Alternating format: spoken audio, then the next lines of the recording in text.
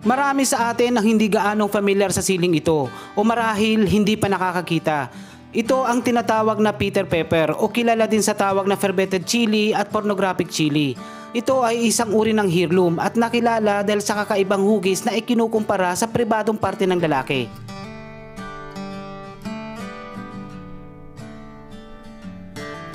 Hindi batid ang totoong pinanggalingan nito at ito ay itinuturing na bihira.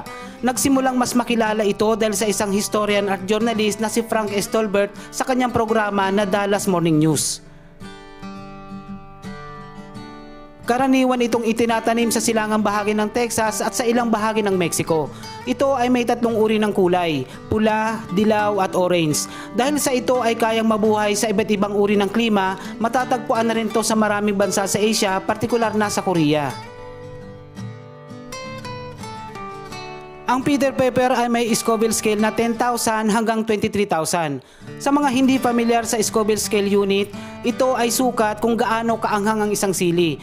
At para mas maintindihan natin, ang kilala nating siling labuyo ay may Scoville heat unit na 50,000 hanggang 100,000.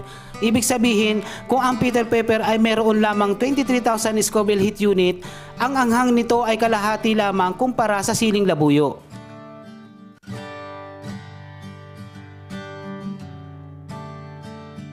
Sa mga susunod na araw ay mamamahagi ako ng buto ng iba't ibang uri ng sili para sa ating mga mapipiling subscribers, lalong-lalo na sa ating mga masugid na taga-subaybay.